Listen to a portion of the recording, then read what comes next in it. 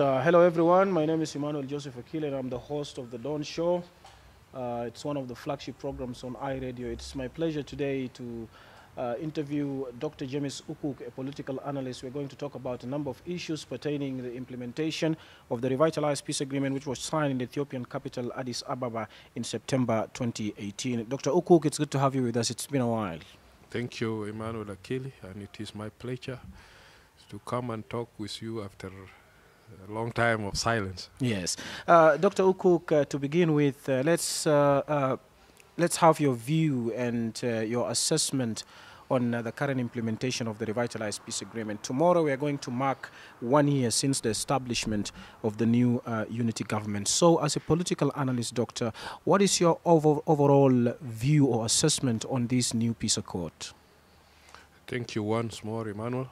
Um, of course, the the assessment has to be done according to the bench the benchmarks which uh, uh, which are very clear and these are the the eight chapters of the revitalized peace agreement mm. and for us to to start with even chapter one we have to get to the background uh, that uh, led to to this revitalized peace agreement we remember uh, what we call the High Level Revitalization Forum.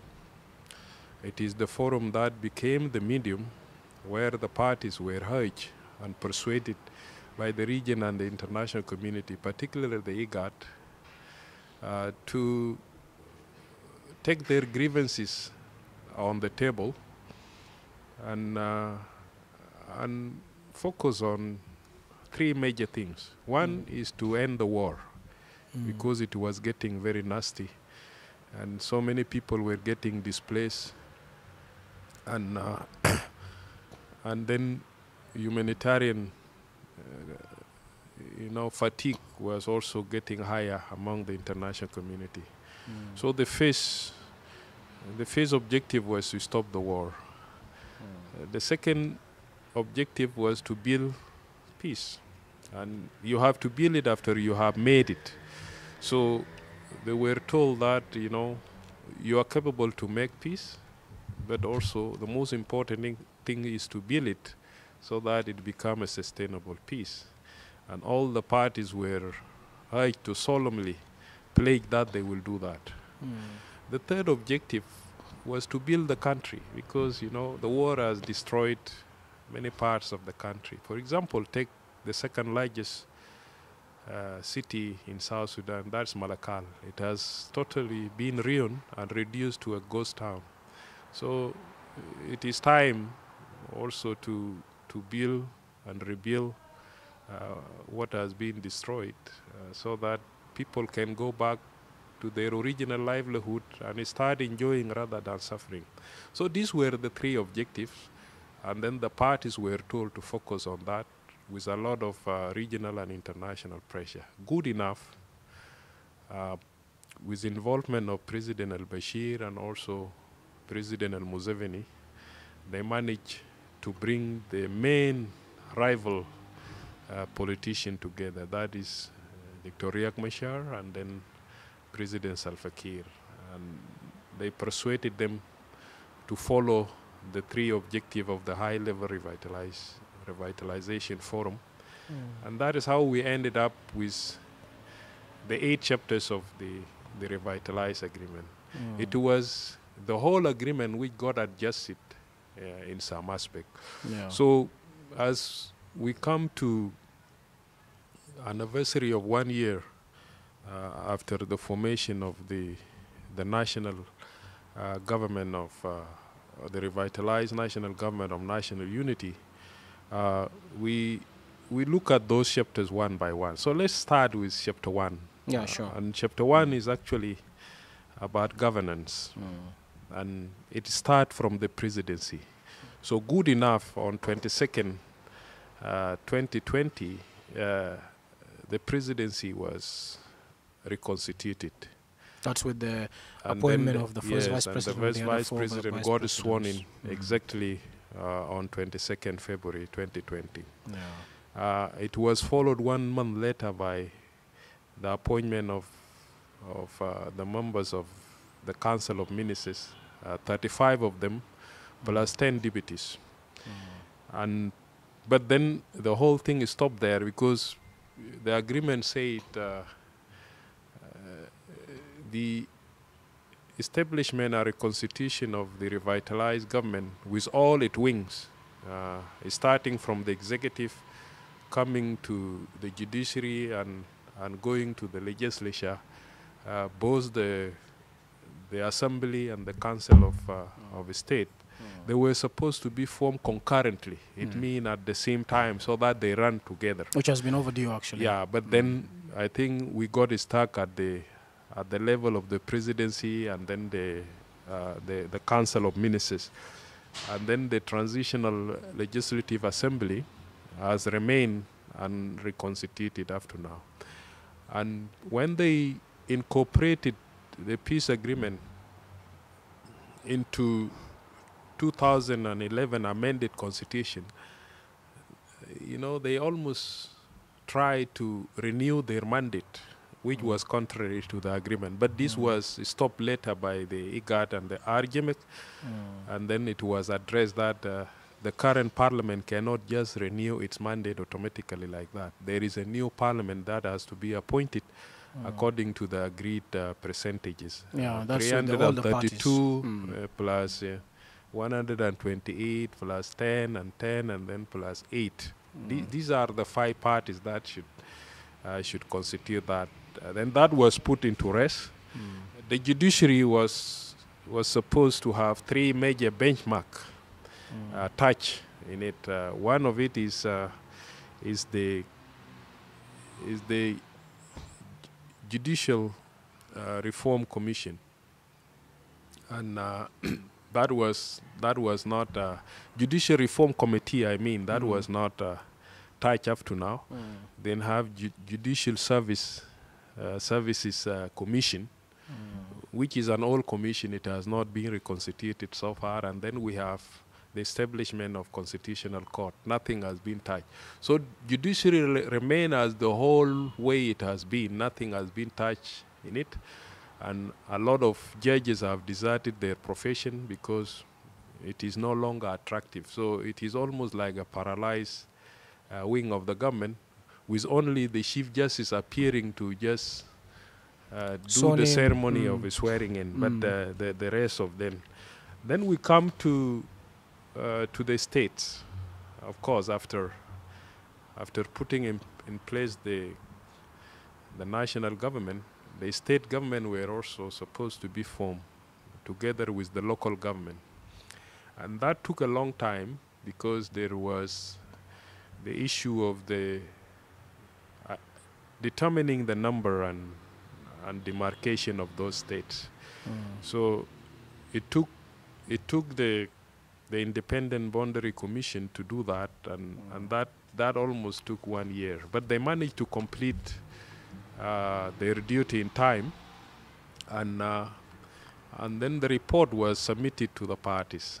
But then the parties were dragging their feet, and then they ended in deadlock, including the percentages of uh, who should take. Uh, uh, which ministry who should take even the governor of which state it took them almost a very long time And on that also, we spoke recently to uh, the uh, Secretary of Information of the main party, SPLM, and he was saying uh, it is the governors in those 10 states are the one confusing this because he was saying the governors are confused. They don't know, they don't understand the percentages. They keep on bringing the names to the presidency and uh, the government tells them, you go back and please review these uh, names of the nominees before you bring them forward. So there's this back and forth, uh, and mean like this loggerhead happening, but it's not really clear uh, who is really delaying this process of the establishment of the state governments. I mean, we've seen yesterday uh, the uh, president appointed uh, the cabinet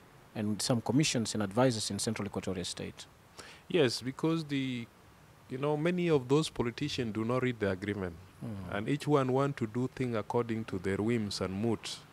Uh, but the reference is the agreement. And and they they just assume that they know the agreement. The agreement does not give the governors authority to appoint uh, any minister or commissioner. This is this is done by the the parties.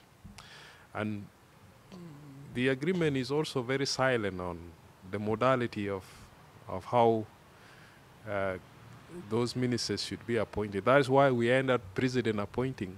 Mm, which the, lawyers the, are arguing it's contrary to the constitution. well, Article 165. Exactly. Mm. That is what the national constitution has said. But mm. when you come to the practice, do we have a state constitution which, which could be referenced for those appointments? So far, there is no any state that has a constitution. So there is a constitutional vacuum in the states. Mm. And the law does not allow vacuum. That's why people will will keep silent when the president does that, if, mm. if it feel the vacuum. Mm. And later, maybe until the constitution of those 10 states uh, are, are, are prepared, uh, that's where I think the powers will go to the governors. But so far now, they don't have any constitutional reference. It's only the president that has constitutional reference. And a governor of a state cannot base his degree on a national constitution because that is beyond him. It's yeah. only the president. So that's why we are in that uh, legal dilemma but bridging the gap is important so that we don't have the vacuum. But uh, Dr. Okuk, don't you think this will also have a challenge in the states? Uh, for instance, a commissioner or let's say an advisor, or a minister, uh, will probably not listen to the governor because you're saying the same decree that brought you to, to, power is also the same person who appointed me, the president. Of course, it, there what will, will be a challenge, but mm. the, the only way out of that challenge is for those governors to speed up uh, the drafting of their own constitution so that mm. they can have powers based on those constitution. Otherwise, if there are no those constitution, they will they will face a lot of problems, and the president will always intervene mm.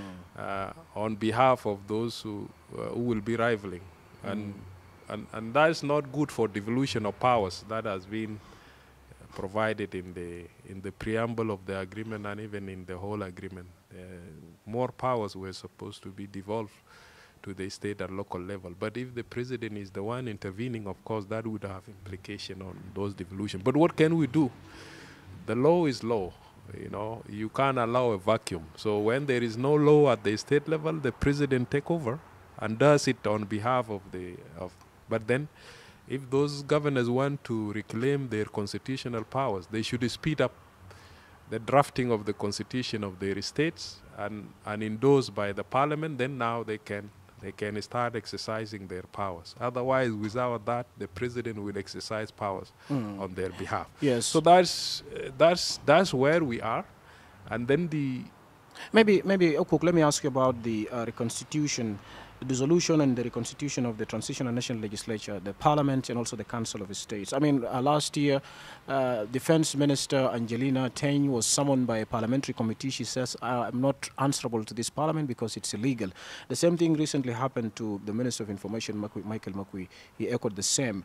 And uh, NCAC is quiet about uh, the reconstitution of the Parliament. And also, uh, some parties are saying they've already handed over or they've uh, uh, forwarded the names of their nominees to NCAC. But uh, this delay, which is happening in the reconstitution of the transitional legislature, uh, what do you think is the reason behind this? Why is it taking long? Yeah, it's, it's part of lack of political will actually from those parties to implement the agreement in letter and spirit. Mm. Because uh, also they are afraid of, of the progress in the implementation. It mm. means change. Mm.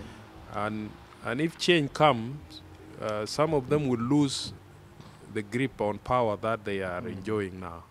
So it's better to to create deadlocks, and deadlock will lead to delays mm. in the implementation. Then plus the issue of funding also. The government is in a big trouble of money because the the money which is supposed to be for state institution and, and, and for government bodies is being diverted into individual accounts, uh, be it in, uh, in form of oil cargoes or in form of non-oil revenues. The money do not come to the government account in the central bank. The mm. money goes to individual pockets. So the government is actually is operating without much in in its control. But who are those individuals? Who are those individuals? Because uh, are they members of this of this same government, the very government we're talking about? These are the uh, some people who call themselves businessmen and tycoon, they are outside the government, but they are linked Mm. uh, with a very powerful uh, uh, politician in the government, and then they get their contracts through those politicians, It's starting from uh, the office of the president uh, down to the other ministries. So, so they they are well connected, and because of that connection, uh, they make that money.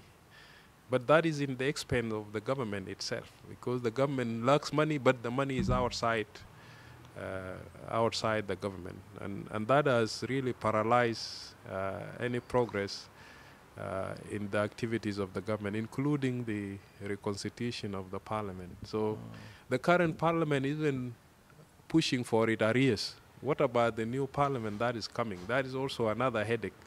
So, if you delay them, they can seal all on, and uh, there won't be a lot of uh, a lot of quarrels because they are illegal at uh, anyhow. And once they want to impeach a, a, a minister or or uh, someone a minister, the minister will say, "Who are you? You are just illegal." But some So, ministers so are it's appearing. good for them. Some ministers are appearing before them, before the, the committees. It's the less powerful ministers that that usually appear, Mm. uh, but the powerful ministers can never appear. Or maybe they don't really understand the agreement well. They don't read the no, because the fact is that this Mm. parliament is illegal.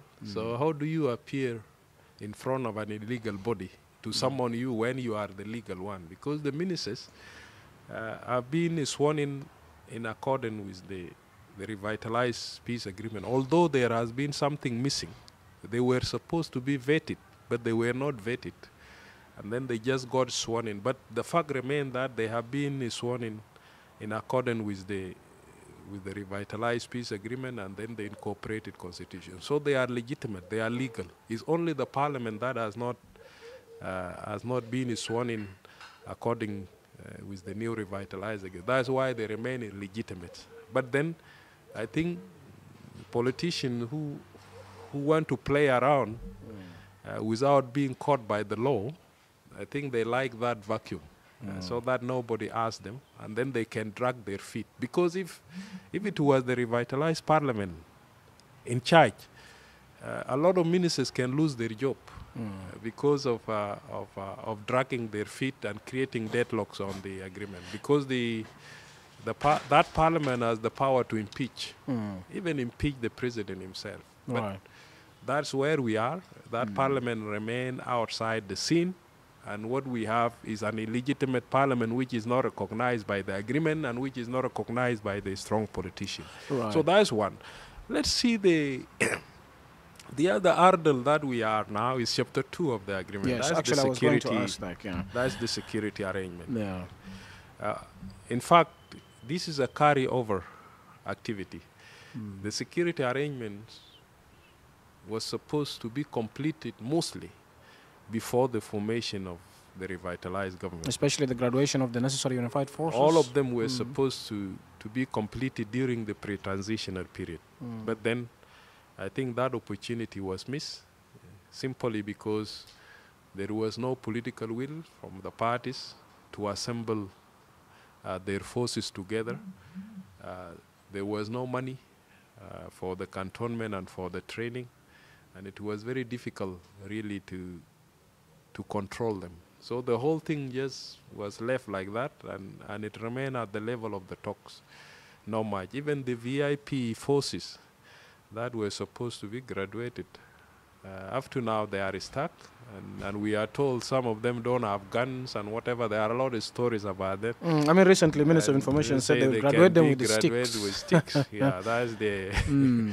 that's that that's the politics around it. But the the bottom line is that there is no political will uh, from from the main parties who who have those armies to bring them together to unite them because actually they are afraid of the repeat of 2016 because they know that But how will it happen? It's going to be uh, one army, one national army. How will of how are you are comparing? Why are you comparing it to 2016? they are brought from different from different uh, armies or different militias actually and putting them together and calling them uh, unified forces does not take away that reality each one remains uh, coming from this tribe or that tribe so they, they will always be loyal to their politician, even under the pretext that they are a unified, A- and do you unified force. So there is a fear, even if you Mm. bring them and put them in J1 again to protect uh, those VIPs, uh, any small problem, they can start shooting each other again, like what happened in 2016. So that fear is there, and that's why so it's a their problem of graduation confidence is and also trust. being being delayed, and, Mm. and that's why the issue of graduating with graduating them with a stick and making them to come to J1 to protect the VIP with a stick is less deadly actually. Mm. So if they manage to do that, it's fine because we know in other part of the world, police use sticks. They don't have guns, and then they, they can still do the protection. And if if things come to worse, it is the army to respond. Do you? So Dr. so Oku- if they do VIP in that Mm. way and it works, fine. There is no uh, Yeah. there's no there's no problem because you can't keep them forever in those trainings. I mean, government has been also arguing on this because of the, uh, the, the, sanctions, the arm embargo. But then also, let me ask you: Do you buy the idea, or do you believe, or uh, do you agree with the government when it says it's because of the funding, uh, lack of funding, that's why they couldn't, or the, graduation of uh, these forces? Uh, is actually taking long. I mean, soldiers have been deserting some of the cantonment sites. I mean, they've been complaining of lack of medical assistance, lack of food. Some have not even received uh, their money or their salary, let's say, for more than a year. Women are in, in, in some of the cantonment sites, particularly Masnabira, last year gave birth inside the cantonment site. So, uh, do you agree it's because of the funding? That's the reason why the graduation is delaying? Yeah, funding is a is a major challenge, but also you ask yourself, what is it that is preventing funding from coming? So that's what takes us again to lack of political will. Because if uh, if the government at the level of the presidency, up to the level of the ministers, are willing to have those parties, they can find money from anywhere, including even making loans for this. But then, because they they don't have trust in those unified forces, so why why why waste money on them? It's better to to give money to businessmen and then let them do business rather than spending that money on on these forces. Already they have spent 104 million US dollar. That was disbursed from the pre- pre-transitional period. But where where d- where did that money go? Up to now, nobody is accounted for that money, and it is a huge money, 104 million US dollar disappearing uh, for the security the security uh, sector reform. But yet there is nothing uh, of that kind. So so that's where we are.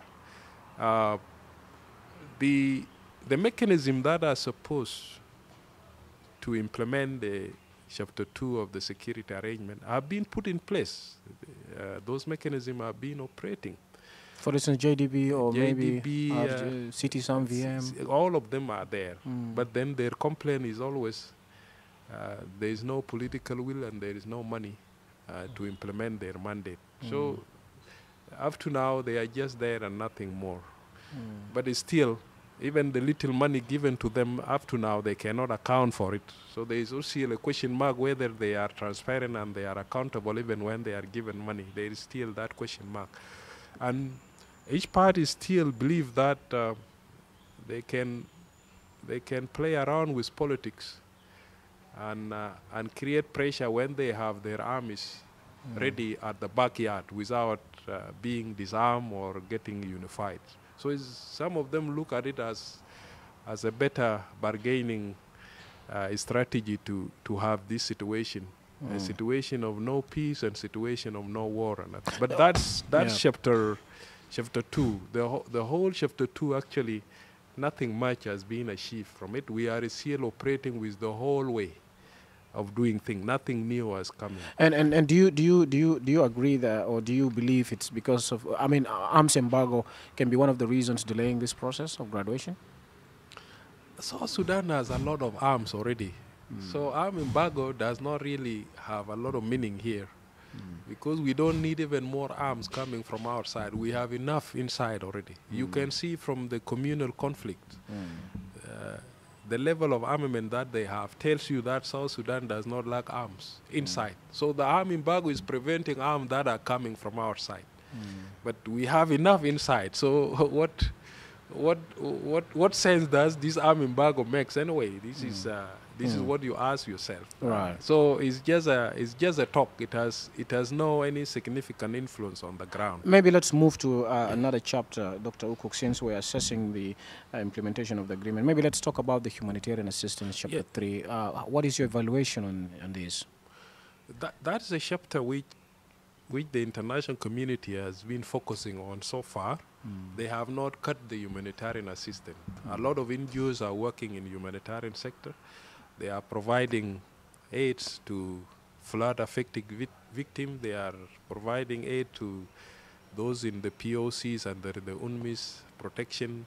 They are providing aids to the IDPs in many mm. places in South Sudan, mm. including even refugees outside the country. They are getting a lot of aid. But there is fatigue also from the donors because the cost is too much. And every year they think that things will improve so that these people will get repatriated, they get resettled, and then they come back and regain their, uh, their livelihood so that they, they become self-reliant rather than relying on the donors. But this thing is not happening.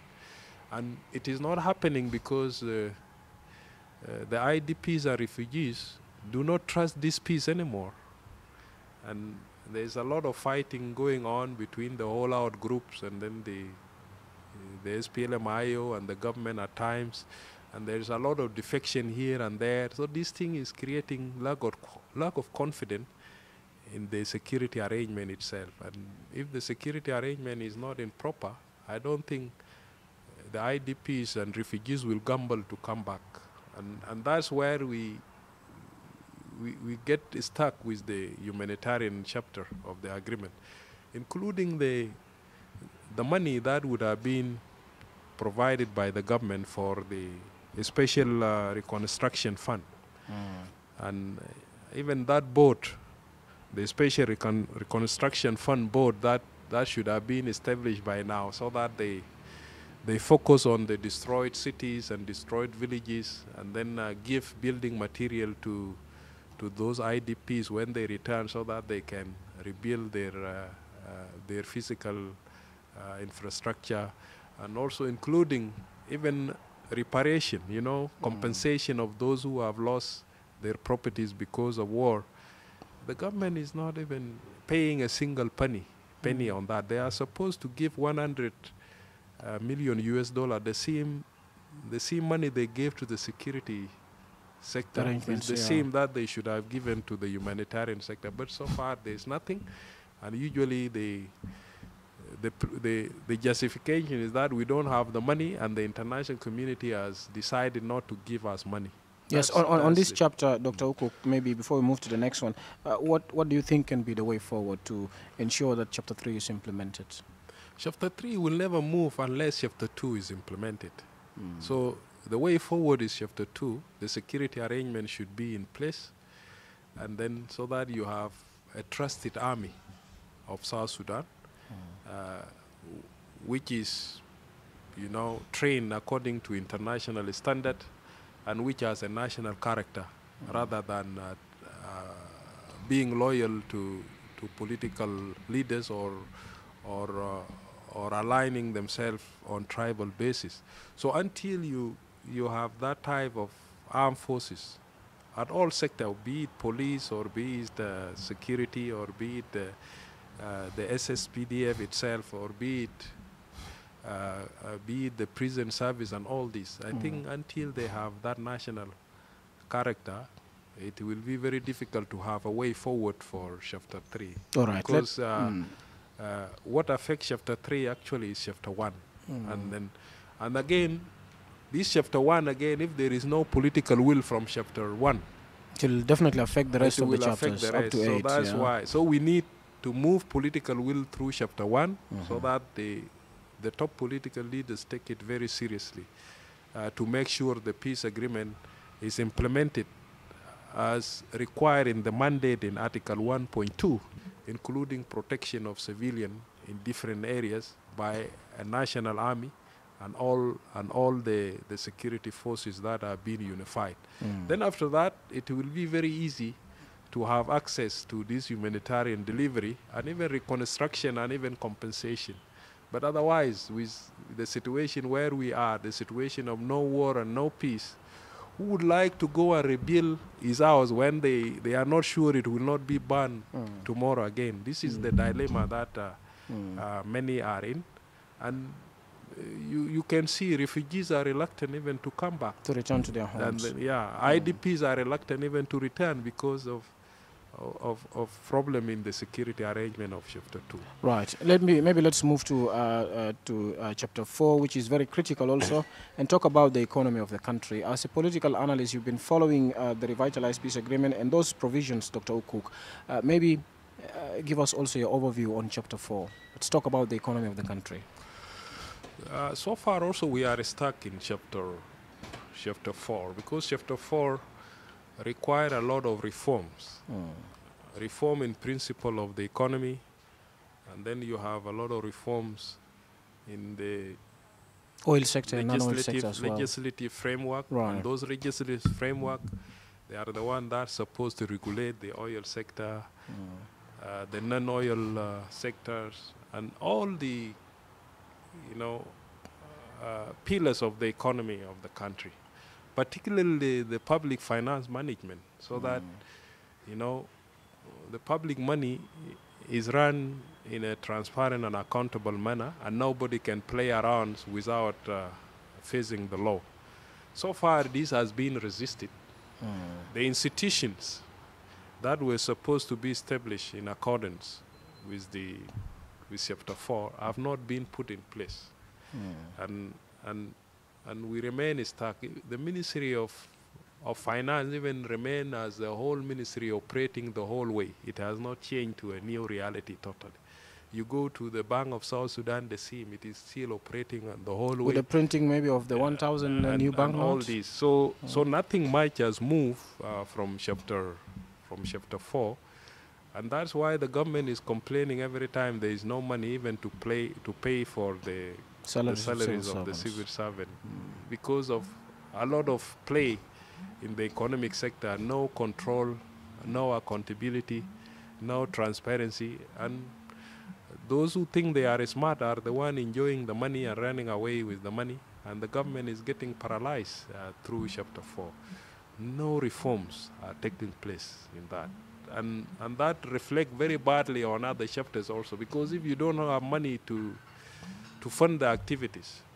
Uh, those activities will remain as ink on the papers, and that's what's happening uh, so far now. Activities in Chapter 3, nobody can implement them because the government cannot provide reconstruction fund, which should come from the Ministry of Finance through the Bank of South Sudan.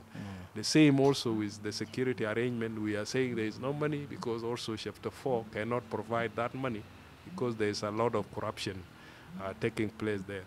Chapter 1, even running the ministries that are there is also becoming difficult.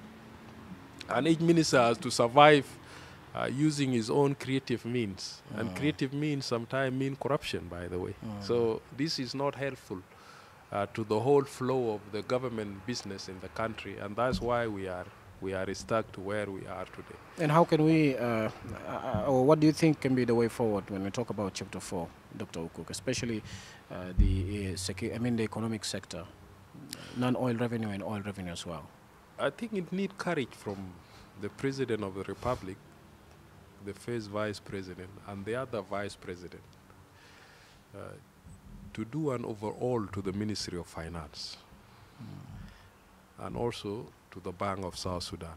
And make sure that they are bringing real professional and new faces with clean records and those who have the courage to stop uh, these tycoons who are playing with the government money and tell them no this is not private money it is government money you cannot just take it to your private use. These are the type of south sudanese who can be part of that reform if they are put in those places. But as long as we keep recycling uh, the whole uh, corrupt official that we know in those institutions, they will always rely on their old networks, and those old networks have never been helpful to the country. And that's where we are until you see change of guards so that the networks are changed. Uh, I don't see any better way forward uh, in that. In fact, we'll, we'll get into more trouble internationally. Like we, we have heard recently that the, the account of the government has been frozen in Kenya for, for a contract that has no existence on the ground. And it's not the first time. Something of that kind has happened uh, before. And, and, and this is because of the blunders of those officials uh, who are put in those institutions, particularly the financial institution. So we, we might end up even with more trouble of economic sanction internationally because so far now a number of oil companies they are under sanctions and they are under sanction because they, uh, they are playing with with international uh, uh, funding flow.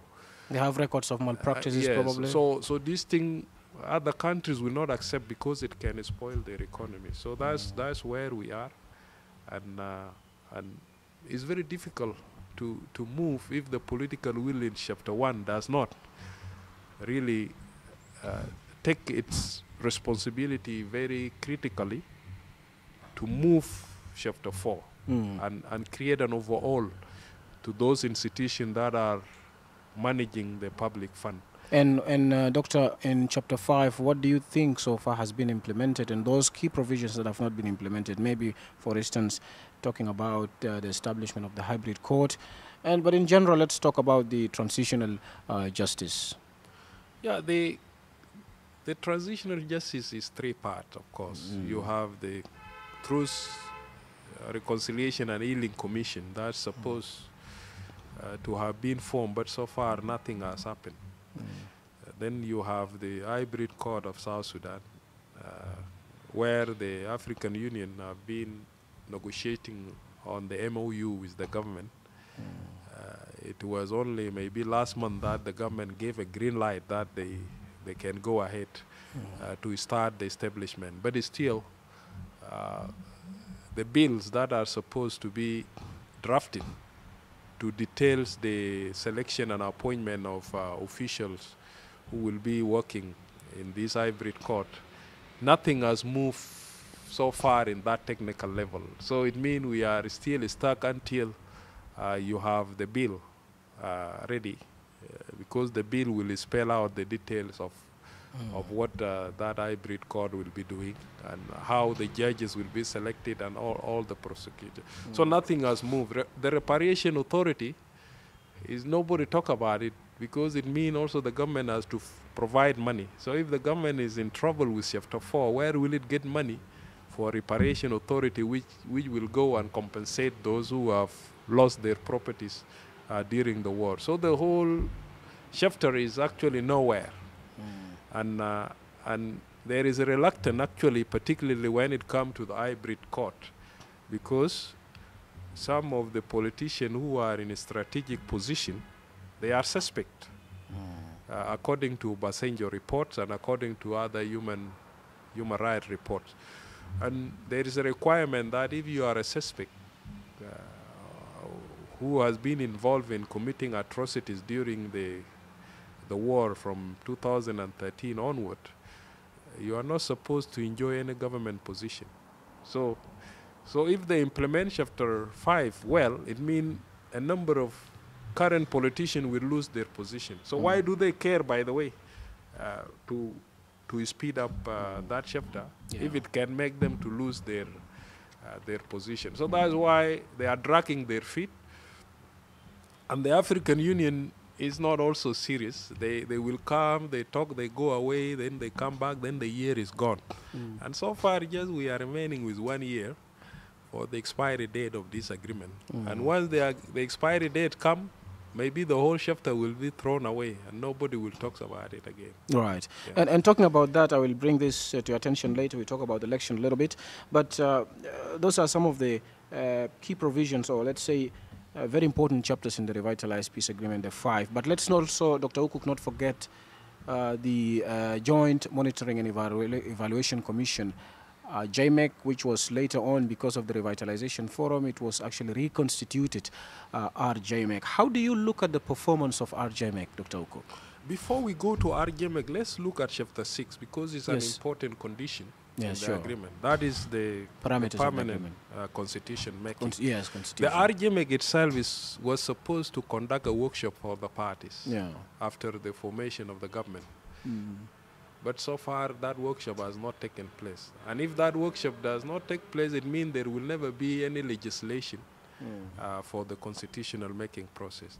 And if we do not start the constitutional making process, because it will only be given 24 months, it means two years, is it? Mm.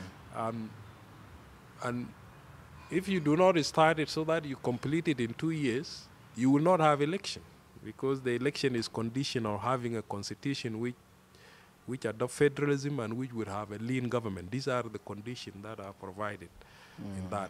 So far, nobody cares about it, and they know that this is the cut which will lead to the extension of the revitalized peace government. So why do you hurry anyway?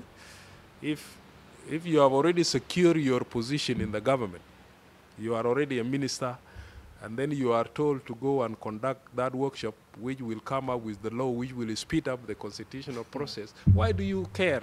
Uh, no?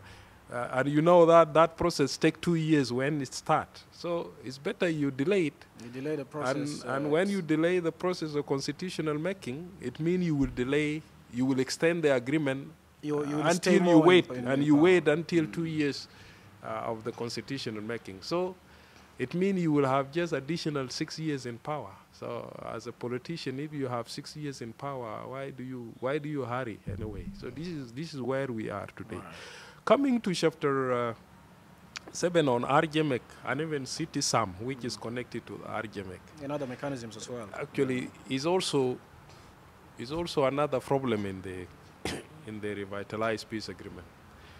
The the RJMEC up to now is still operating as in, with interim share. They have not brought a prominent African personality who is respected uh, to share the RJMEC. The last share we had was Festus Mogae from Botswana, and from the time he left, we didn't have any any prominent African personality to come and share the argument. So the share that we have as, is an interim share coming from Kenya and again replaced from Kenya with no weight because he has just been a military man and military commanders are never respected by politicians by the way. So this is where we are. Is a RJMEC which, which has a problem with its share. It is not respected by the parties because it does not have the weight it's mm. supposed to have. Mm.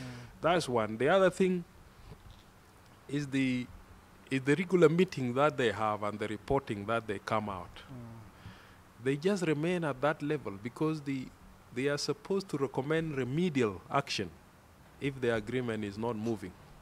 But then they only give the reports and then they only give the recommendation what to do, but they don't follow the remedies of, uh, of how to correct uh, the missed opportunities and how to how to move the, the peace process forward in a more rigorous manner. They don't they don't do that.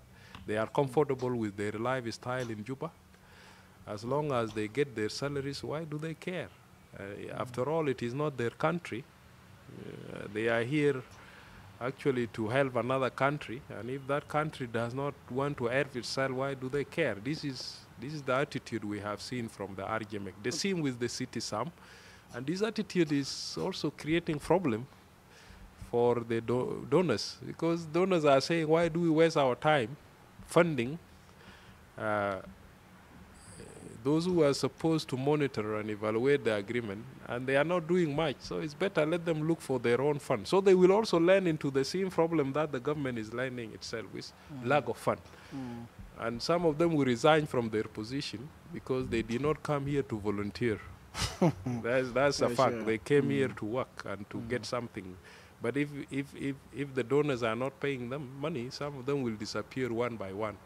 And then we will remain with an agreement that does not have evaluators that does not have monitors. That's that's the reality we, we, we might get in. But anyway, we are remaining with one year only to the expiry date of the agreement. So we'll see uh, how how it move forward. But the RJMEC is just is just no not influential anymore, including the civil society of South Sudan that are within RJMEC.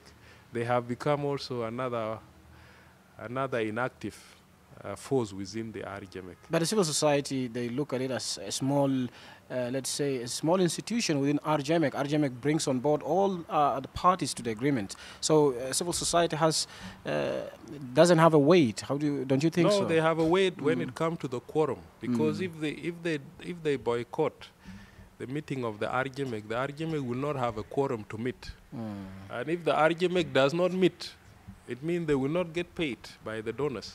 So the civil society has been helping the RJMEC to meet by completing the quorum. And, and the quorum that does not produce anything apart from talk, sh- talk shows inside the, the rooms, and uh, after that releasing reports that are useless, releasing even resolution that are not implemented, mm. and then each one get his sitting allowance, and that's all. And mm. then they wait for another another meeting, and that's that's the level they have been operating. I was expecting the civil society to pull out from the RJMEC, but they so far they have not done that. So it means they are they are accomplice to what is being done, because they, they complete the quorum, the quorum of the of the RJMEC to meet, and I I understand even sometime when they are not around, they are called by phone to rush in so that the quorum is complete, and they do that without uh, without. Uh, without regretting uh, uh, that style. But that's what I see as a weakness from our civil society. yeah, you They- earlier. They, used to be very strong during the, the Negotiation. the negotiation, but after the negotiation, they have, I think, surrendered or what happened. We don't know. This is the this is my observation. Right, and and you earlier talked about one year for the transitional period to end. Uh, does that mean after one year we're going to hold elections? Uh, what do you what do you say about that, especially the elections, according to the agreement? According to the agreement with the situation we are in, the condition for holding the election are not in place. And first condition is the security arrangements. The second is the repatriation uh, and uh, reintegration of the IDPs and the refugees so that they get back to their places. Then you will have constitutional making completed. Then you have census. These are the these are the conditions.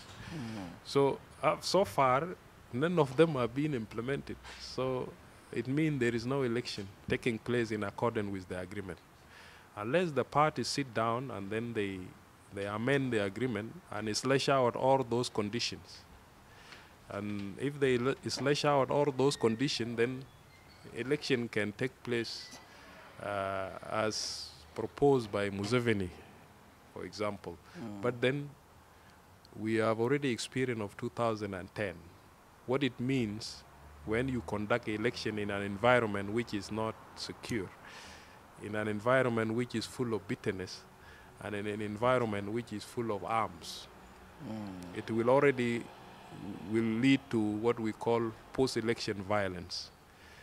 And post-election violence means sitting down again on the negotiation table and coming back with a coalition government of national unity, repeating the same thing that we have done. So what, what, what is it that we are looking for? And it will be a waste of money. And I don't think there is any donor who is ready to fund that type of election which is not free, which is not fair, which is not credible. It won't happen. How can we have free, credible, and fair election, Dr. Okuk? You won't have it until until you have the reforms in place. The security reforms in place, you have the political reform in place, civil service reform in place, you have economic reform in place. Mm. And then you have transitional justice in place. So it means you have to implement all the chapters of the agreement from chapter 1 up to chapter 8 this is where now you can talk of the election because the election is the end game of the whole transitional period. Mm. It will it will mark the end of that transitional period. Then you go now to to elected government, uh, that that will go periodically. So that's that's where we are. I don't think election is viable as we speak because the conditions that are supposed to be fulfilled before going to election are not in place. Right. And then the environment, even if you slash out those conditions, the environment for conducting a credible and free election is not there. So it's people have to be very cautious to rush to those elections. Yes. What other areas would you like to share with us before you wind up, Dr. Okuk? Especially as we mark one year tomorrow uh, since the establishment of the uh, unity government, especially the presidency. Yeah, we, we came a long way to have this country. That is one thing we, we, we need to remember. And because we came a long way, we have a lot of challenges ahead. And, but those challenges can be overcome because the, the history of South Sudan has lessons of how, how people have, have moved on and they have resolved their problem. So it is time to start identifying uh, what is the problem really. Because sometimes we just undermine this. What is the problem? People need to identify it in clear terms. Okay? And then you come, who is the problem? Because also, even, even if we identify what is the problem, there is the question of who is the problem because there are people who are troublemakers who are benefiting from the war situation. We need to identify who are they. And once you identify them, you, we can know how to deal with them uh, through many means, either to persuade them to change their attitude or they will get into sanctions. That's, that's, that's given. And then why, why these problems are occurring? It's, it's also time to ask those questions. Uh, I could see from the report of the National Dialogue, they, they have tried to delve into why the problem in South Sudan, but they reduce it into two person only. That is President Kiir and. Riek, which is not fair. They are not the only one uh, who are a problem to South Sudan. There are people around them and there are people attached with them, including the Jieng Council of Elders. They have been also part of, of this problem. So they cannot distance themselves and reduce the whole problem of South Sudan to two people only. So why this problem are recurring every time? People need to sit down and, and find the root causes. And then from there, I think we, we can move forward. But then the most important thing, there has to be a change. You can't continue with the whole way of no peace and no war. That won't help this country. So there has to be a change, and that change has to happen if the country has to, to pick up. Otherwise, if we remain without a change, we'll be just complaining of the same things every year and all this. So now, as we mark the the one year anniversary of the formation of the revitalized government of national unity in a partial manner, uh, would like to encourage those parties to speed up the full formation of, of the government at all levels, horizontally and vertically, uh, so that there could be a reason why people can say, let's uh, do the extension. Uh, if they if they see that there is seriousness for the parties to implement the agreement beyond chapter one. And once these uh, bodies are established concurrently and then they move on, I think there will not be hurry for election uh, as long as we are putting the situation back into a better uh, environment. Uh, that South Sudanese can one day say, let's go for election. So, so formation, full formation of the government at all level is a must. And I don't think the parties will have any better agreement than this agreement.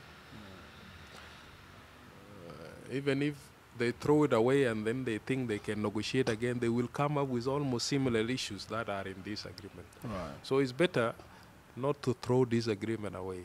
Let them start implementing it, and then let's start to think how extension can be done if there is progress in the implementation.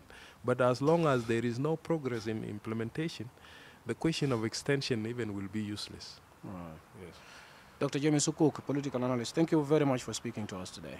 Thank you, uh, Kili, and my pleasure to have talked with you.